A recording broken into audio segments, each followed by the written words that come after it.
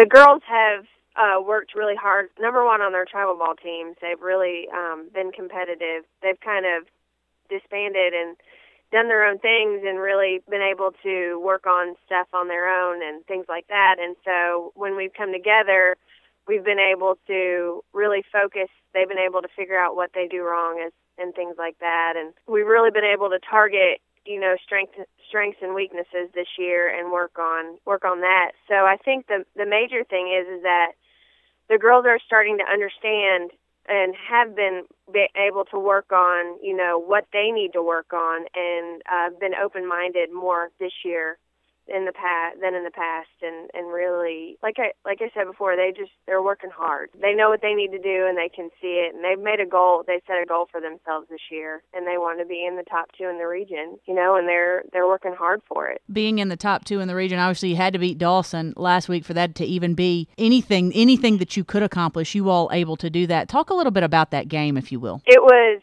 uh, very emotional. They knew what they had to do. You know, we lost to them earlier in the season, and it was a it was a heartbreaker because, you know, we came out a little flat that first game, but uh, but this one they stayed up the whole game, and um, we got some clutch hits when we needed it, and um, defense has just been stellar.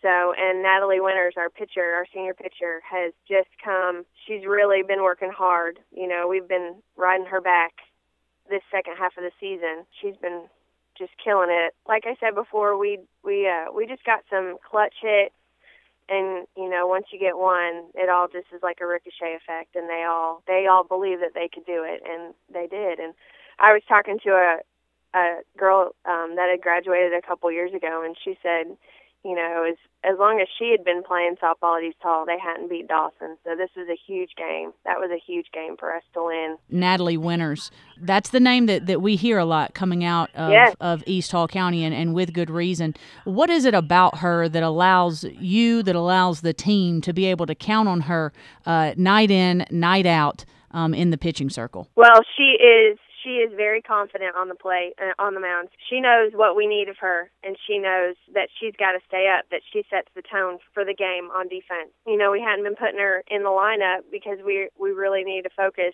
on on her pitching. And she, uh, you know, when our second pitcher went down, we just told her, you know, we've got you've got to come ready to play every day, every game day, you know, and and you'll get rest when you need it. She's really been great. She's been a great leader on and off the field. The girls really look up to her. We're just really proud of how she's been pitching this past couple weeks. You're staring Buford in the face right now.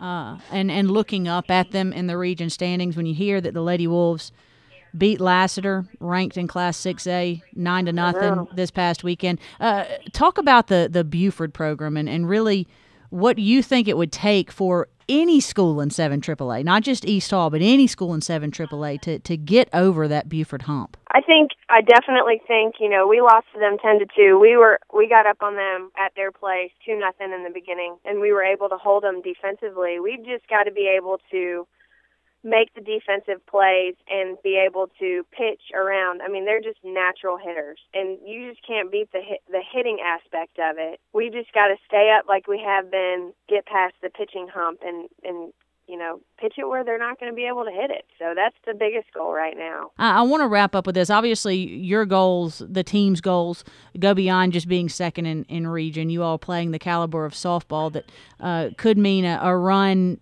in the state playoffs. Have you all talked that far ahead? Have you looked that far ahead? And if, if so, what, what's the feedback that you're getting from the girls, and how confident are they that goals can be met? They know that what our goal is in region. We haven't looked past region because anything in our region tournament can happen, and it has happened in years past. You know, we're trying to take one game at a time and then get ready for October 5th at Lanier Point when when we have the region tournament. So we really haven't talked much about that we've got to get over this these um, region games first. Like I said, that's our goal right now. But the girls, they have just been, you know, they they've really um, emotionally and physically been understanding of, you know, they have goals for themselves and they set team goals and they're really working hard for it. I mean, they're staying up, they're staying positive, and that was one of our goals this year is positivity, to stay positive and not get down you know, throughout the season as well as throughout the game. So I think I think they have a they see it, but I think we're not we're you know we're all kind of sitting back and and working on you know like I said one game at a time and try to make the most of that and then we'll work on the region tournament when when that comes around